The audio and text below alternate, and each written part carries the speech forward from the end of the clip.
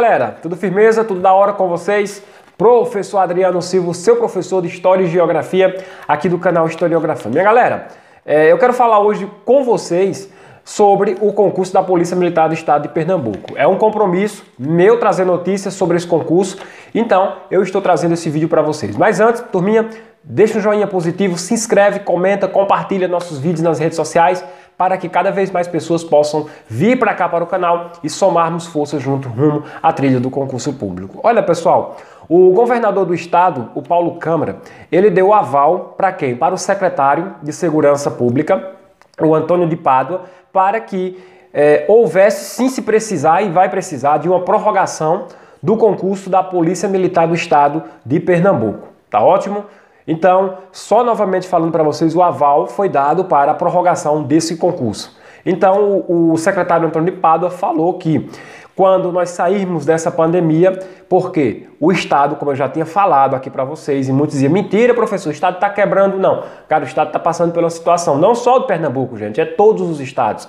Ah, mas o, o governo federal está mandando carradas de dinheiro. Sim, para pagar a folha com o pessoal que é, estava em casa enquanto esse momento se acalentava mais um pouco. Mas a verdade é para ser dita, tá? Até o próprio secretário falou na sua entrevista. Então, o mais tardar, segundo ele, pós-pandemia, que se Deus quiser isso vai passar, e quando passar, provavelmente lá para janeiro, janeiro ou mesmo antes, palavra dele, vocês serão chamados para esse concurso público para fazer as próximas etapas.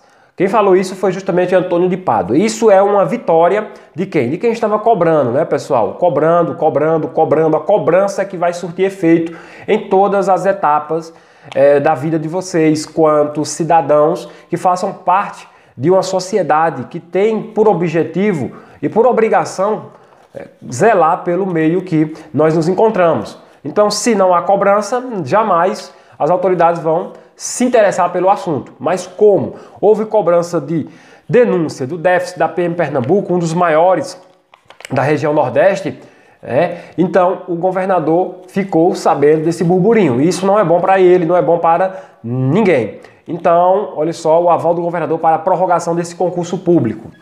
Segundo ponto aqui, pessoal, ele falou janeiro de 2021, mas pode ser antes. Vai só depender do problema pandêmico. Não é certeza ser em janeiro, pode ser antes. Ele falou antes, então jamais vou falar aqui fevereiro, tá? Ele falou em janeiro ou antes disso. Escute bem.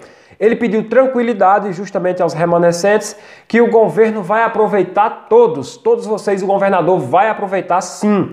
Isso é um compromisso da administração do estado de Pernambuco. Tá ótimo? Então, se o governador disse que iria aproveitar, não existe outra autoridade, não existe outra pessoa, professor A, B, C ou D, que fale o contrário, até que se prove isso, tudo bem?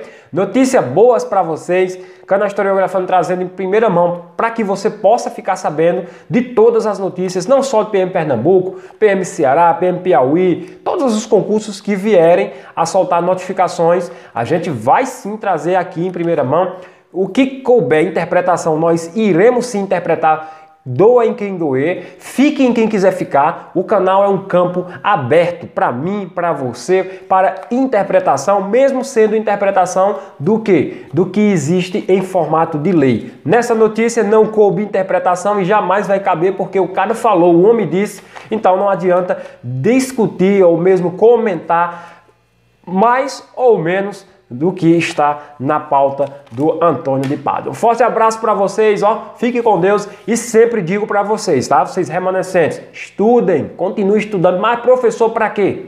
Não me interessa. Estuda, estuda por quê? Porque você estará amparado pelos seus conhecimentos se você se mantiver atualizado e estudando, tudo bem? Isso é prova, é testemunha de toda a, a importância que tem você continuar nos estudos. Valeu, galera! Força Guerreiro!